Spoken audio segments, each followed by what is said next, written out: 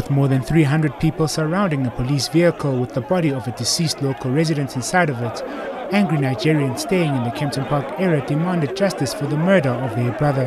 This man explains what happened. All of us there by the West Street this morning, this particular this particular gov, gov, gov, gov GTI arrived. When they saw this guy, they were chasing this guy. Always, always, always. More than more than four, four to eight times. Every time they got this boy, they took all his money. Every time. Today, this guy don't have money. He start running. And he has only one ganja and he's smoking on his hand. They chase it to Taxi rank. All of us go there. They grab this boy. When they grab him, they handcuff him back, start beating him. After they beat, beat, beat, beat, they say no, it's not okay. They put a bring a plastic, put on his head, under they put tear gas under, under the head, and cut the plastic. I confronted them, say they are doing their job. So I want to know if their job to kill somebody or to protect a human being. You understand? It's injustice and it's a racist. It doesn't work like that. All are human beings. Southeast Nigeria, nobody touch them.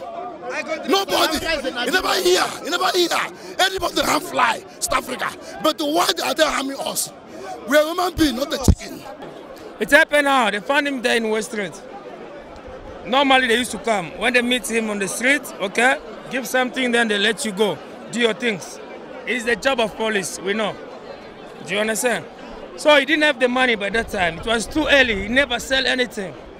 Do you understand? Yeah, so he told them, oh, come back. They locked him, they arrested, they handcuffed him, and put the plastic in the face so he can't breathe. Do you understand? That's how he collapsed and died in the car because of 50 rand. Many people demanded that the pictures of the body be taken and shown to the media. Altercations between the police and locals ensued.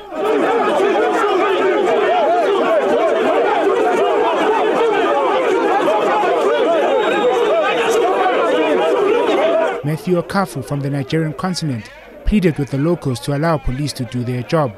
He then told Eyewitness News what he'd heard about the alleged murder. Well, early in the morning, we heard about a Nigerian that was accidentally killed. It was an excessive case of police brutality, obviously. But now we're not going to jump to any conclusions because we want the police to do their job. We've been here meeting with the police command structure. It is alleged that the young Nigerian had drugs on him that he ingested we have demanded to know the truth via a post-mortem that will tell us what happened because a post-mortem will give us details of everything. When the police vehicle was eventually allowed to leave the scene, police clashed with local residents who threw bottles and bricks. This led to police retaliating with stun grenades and rubber bullets.